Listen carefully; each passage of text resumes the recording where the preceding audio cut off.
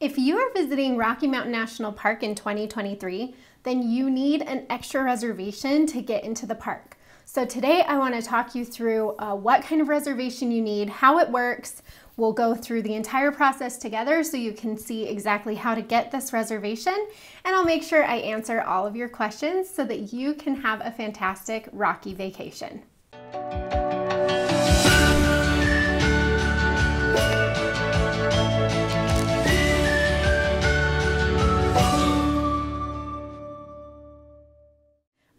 Ash. I'm a former park ranger and the founder of Dirt in My Shoes. And today we are talking all about Rocky Mountain timed entry permits. And so I want to walk you through exactly what they are. Uh, there's a few different options that you can get this year, and uh, I'll show you how to get them. So let's jump right in. So these Rocky Mountain reservations are for everybody who wants to visit Rocky Mountain. So You'll need a reservation to get into any part of the park, even some of the outlying areas. So basically, if you're going to be in Rocky Mountain National Park, you will need one of these reservations. These reservations are needed from May 26th to October 22nd, 2023. So if you're visiting during that main summer season when all the roads are open and if you're hoping to get in there and do some hiking, uh, then you will need to reserve one of these reservations. I'm here on the official National Park Service website for Rocky Mountain, and there's a whole bunch of information here about their timed entry permits, which I'll walk you through. But I do want to show you how to know when you need to be reserving this. If you scroll down, you'll see this box here that tells you when those reservations open up for you. And so if you're visiting in August, then you'll need to make your reservations on July 1st and that's July 1st at 8 a.m. Mountain Time. So if you can get in here and make these reservations when they very first release on these dates, then it will make a huge difference as to being able to actually get what you want. You'll be able to get in there before everything gets sold out. So the first thing that I would do is go on to recreation.gov and make an account. You will use that account for lots of different national parks. So it's really nice to have one, but do that in advance of needing those reservations. And then make note based on that table I just showed you of what day you need to be online getting your reservation. So again, if you're going in, say, July, um, say you're going July 15th, then you will make your reservations on June 1st at 8 a.m. Mark that in your calendar so that you're ready to go. Let's discuss the two different permit options for 2023. Uh, this is very similar to what they've done in past years, but there are a few different things happening, so I'm going to talk you through it. Okay, so I am on the timed entry permit system web page on the official Rocky Mountain site, and I will link this page in the video notes so that you can get here easily. But just a few things that I want to walk you through. So you need this timed entry reservation, which we're talking about right now. Plus, you also need an entrance fee. So they are not the same. You will need both. The entry reservation for this video, you'll have to do that in advance. You need to do that before you get to the park. The entrance fee, you can do that when you get to the park, when you go through the entrance station, they'll take care of that. So don't worry about doing the entrance fee in advance, but these timed entry reservations you do need to do in advance. Okay, there are two different permits available this year, and so I want to walk you through both of them. So the first one is the park access, and you'll see this information here. This park access reservation gets you to anywhere that is marked in green on this map, which is basically everywhere, but it does exclude the Bear Lake area. But everywhere else you can get into with this park access. For the park access reservation, you will need one between the hours of 9 a.m. and 2 p.m. Those are the busiest times in Rocky Mountain National Park. And so they want you to res reserve your time slot if you're coming in between those hours. When you make your reservation, you'll choose a time slot. You do need to enter the park during that time slot, but as long as you enter during that initial time slot, you can come and go as needed. And so it's really nice. You have access to most of the park. Uh, it's pretty easy to get around. It's pretty easy actually to get these reservations. They're not as competitive as the other ones, which we'll talk about in a minute. But um, so if you're not planning on going to the Bear Lake area on a particular day, then the park access works great for that. And all of these reservations are one day reservations. And so if you're spending multiple days in Rocky Mountain National Park, then you'll need to make a reservation for every day. Okay, the other reservation option is the Park Access Plus. And this one gets you everywhere with the orange on the map. And so this is, these are all the roads in Rocky that the orange is covering. And so you'll notice it gets you everywhere where the park access reservation gets you, but it also gets you onto the Bear Lake Road, which is the busiest part of the park.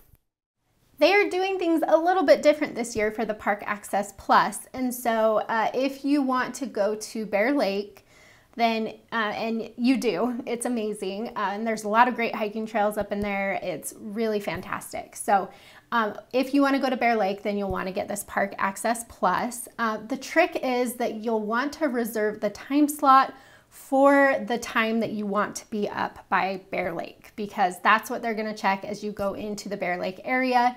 Um, they're going to check that time that you reserved. And so reserve your Park Access Plus for the time that you want to be at Bear Lake. Uh, and then you do need a reservation to get up in this area from the hours of 5 a.m. to 6 p.m. So it's most of the day uh, because this area just stays so busy. A lot of longer hiking trails for the people who want to get here early in the morning. Uh, but it does stay busy throughout the day. And so you will need a reservation for this one unless you just plan on visiting outside of those hours. Another new thing that they're doing with this Park Access Plus reservation this year is that uh, you can come into the Bear Lake Road at the time that you reserved, but if you want to leave and come back, you have to wait until after 2 p.m. to do that. And so it's not like the park access where you can just come and go as you please everywhere. Uh, if you want to go to Bear Lake and you get this park access plus, then uh, you can't leave the Bear Lake area and come back as you please. Um, you'll have to wait till after 2 p.m. to do that. So you will want to make note of that. Um, just when you're making your reservation, make sure that you reserve a time that you can be at Bear Lake for the first time. Stay there as long as you want, uh, but if you leave, you can't come back to Bear Lake until after 2 p.m.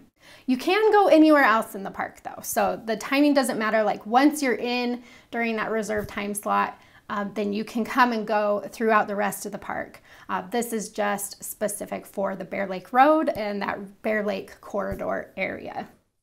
The tricky thing is that even if you get these reservations uh, in advance, they don't guarantee parking. And so you will want to make sure that you have a really good plan for getting in there and getting parking because even if you have a reservation, say for the very busy Bear Lake area, uh, you might get in there with your reservation, but then have nowhere to park. So definitely keep that in mind. If you need any help planning out your actual schedule, I have an hour by hour itinerary for Rocky Mountain on dirtinmyshoes.com, and I will walk you through uh, when I would be in certain areas and exactly what reservations you'll need to get into those areas and what times you'll want them for.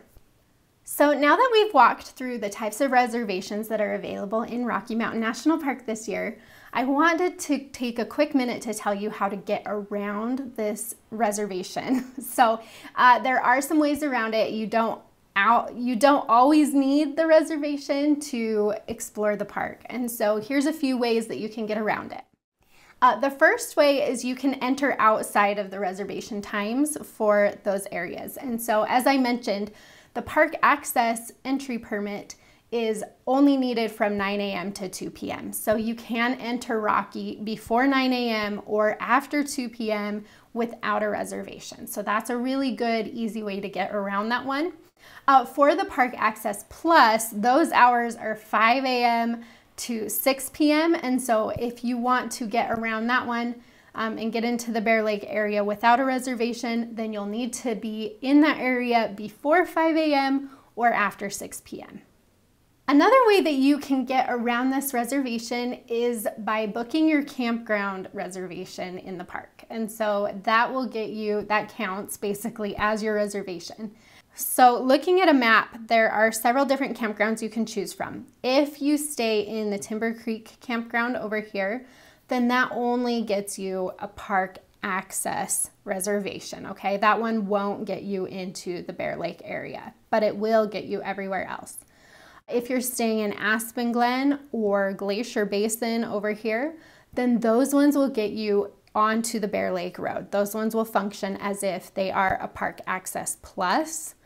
The Moraine Park Campground is closed in 2023, so that one's not an option for this year. But Aspen Glen or Glacier Basin will get you basically a Park Access Plus reservation for the dates that you'll be camping.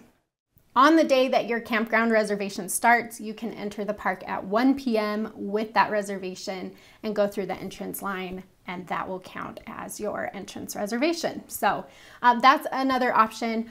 Your last option really is to uh, book like a horseback riding tour in the park.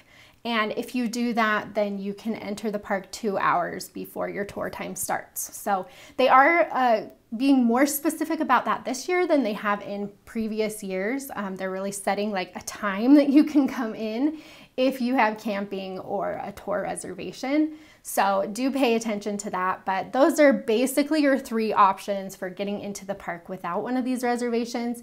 Either enter outside of the times that you need a reservation uh, book your camping in the park or book a horseback riding tour in the park.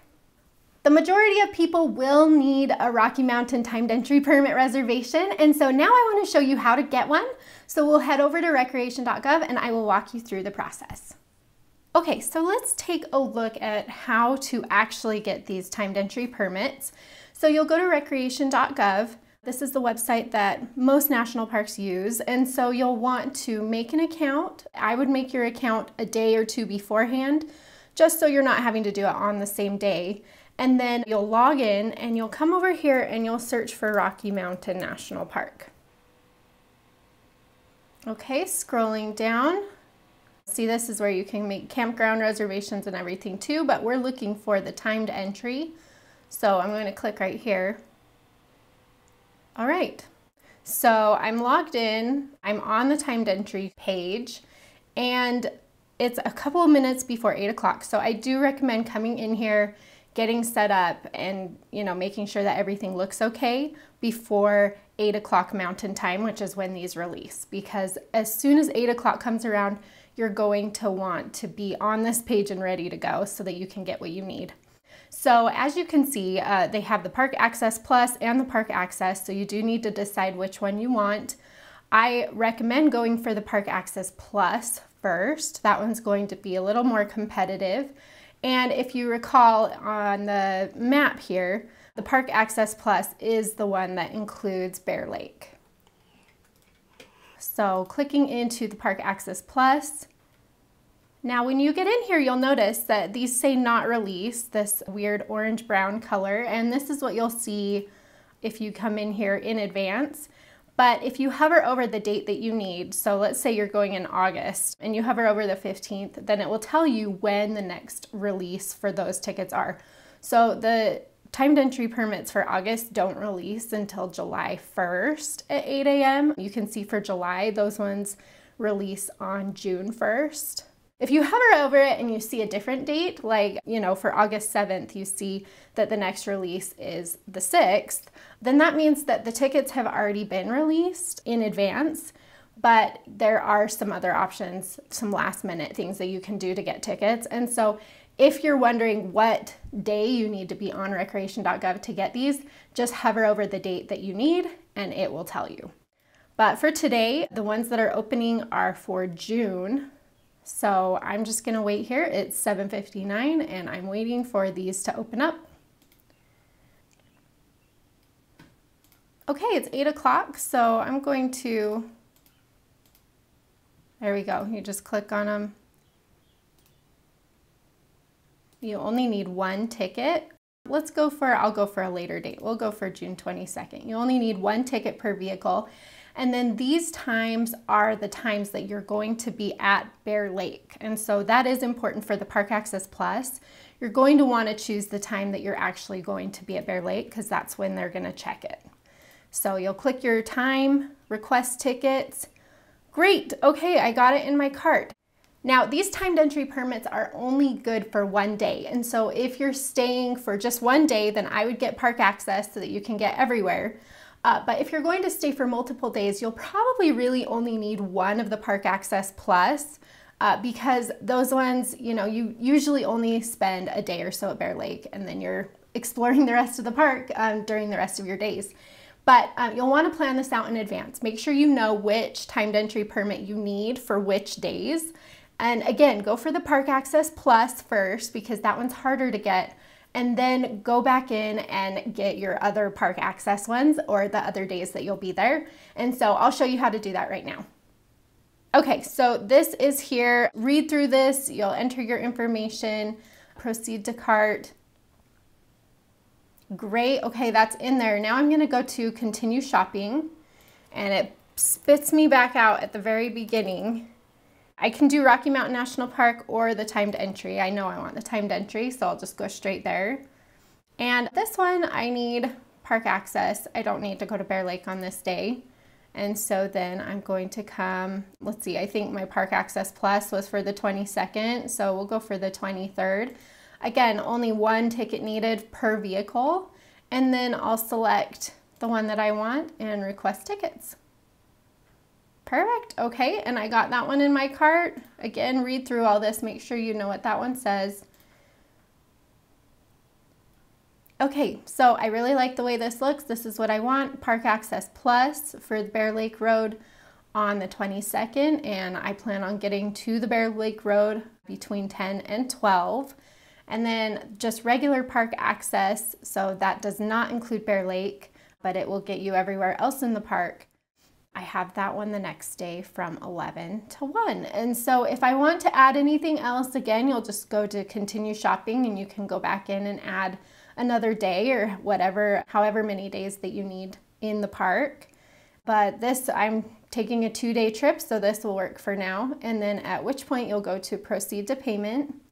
You'll enter all your payment info here. It is $2 per timed entry permit.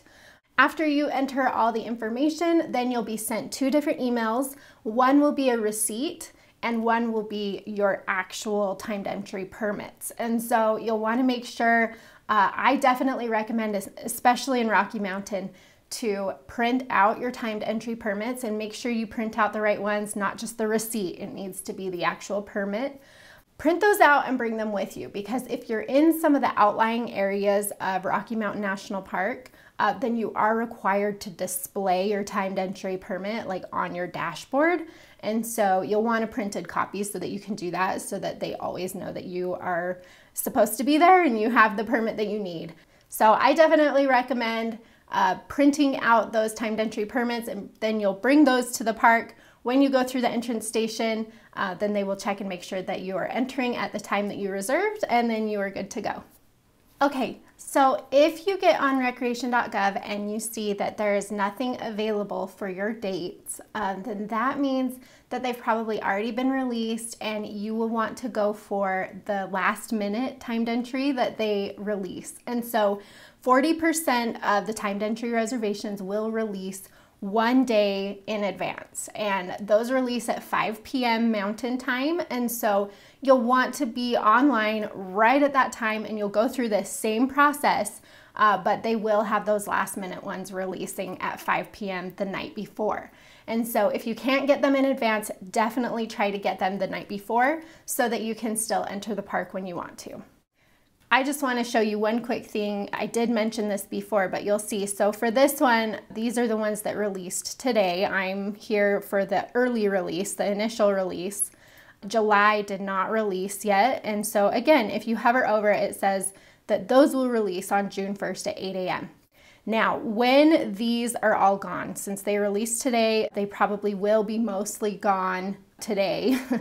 But when these are completely gone, then this date will turn this orange color. And then when you hover over it, it will say that these will be released. Like for the 22nd, it will say these will be released on the 21st at 5 p.m. So it will change over once all of these are gone, then they will change back to either this unavailable or this not released color. And then when you hover over it, it will tell you when the next release is for that day. So that's a really good hack uh, because a lot of people get confused when they come in here. Uh, you know, if you don't plan well in advance, then, you know, you might be coming in here two weeks in advance or something and you might just see big blocks of orange. Uh, it might look like nothing is available, but just hover over those dates and they'll tell you when that next release is. So if you don't get the ones that you need, you can either uh, come back through this process the night before at 5 p.m. Mountain Time and try to get the permits that you need, or you can enter outside of those hours. So for the whole park, if you want to go to Bear Lake and everything, then you will need to enter before 5 a.m. and after 6 p.m. So that one is a very long uh, reservation time. Uh, so you will need to get there either very early in the morning or later in the evening. Uh, for the rest of the park, though, those reservations are only required from 9 a.m. to 2 p.m. So if you enter before 9 a.m. or after 2 p.m., then uh, you will be able to get into the park without one of these reservations. So keep that in mind. There are some workarounds, but hopefully you're able to get exactly what you need. And I hope that you have a fantastic vacation to Rocky Mountain National Park.